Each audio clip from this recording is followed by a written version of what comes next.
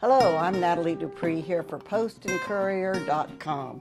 And I have a very simple beer bread here. Beer muffins is what I'm going to make, but you can make it in a loaf pan. Just remember that everything cooks according to the thickness. A big loaf will take more time than little muffins will. So, first thing I've got here is some butter melted, and I'm just going to pour it into the bottom and I like these little mini muffins.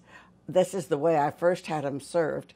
Believe it or not, Delta uh, actually served these uh, on the plane in the days when they did nice things like that. So this that was when I was first introduced to them.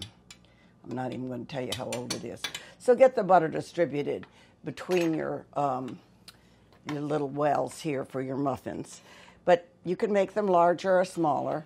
This is self-rising flour, and that comes in a package, or you can make your own by adding your own baking powder and salt. So just look at a recipe for making self-rising flour. I have them in most of my books, and they're in Joy of Cooking and Better Homes and Gardens. So just Betty Crocker.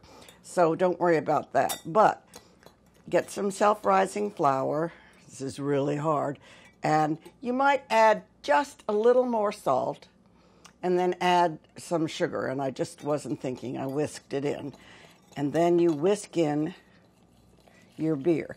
It can be non alcoholic beer. That's why I didn't want to even show you the can. It can be non alcoholic beer, it can be your favorite ale, whatever flavor you want. If you're going to have children, I would suggest something light just to start with because they may not be familiar with the taste. And then you just go ahead and ladle or or pour your your little muffins right into each of these cups. Let them swim in a little of the butter. It just soaks in so that they are really they're pretty decadent. This is a nice reward for getting to buy the bread. Here they are. They freeze well and it makes twice as much as this. Uh, halved the recipe for you.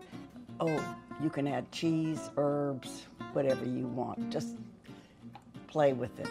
I'm Nathalie Dupree here for postandcourier.com.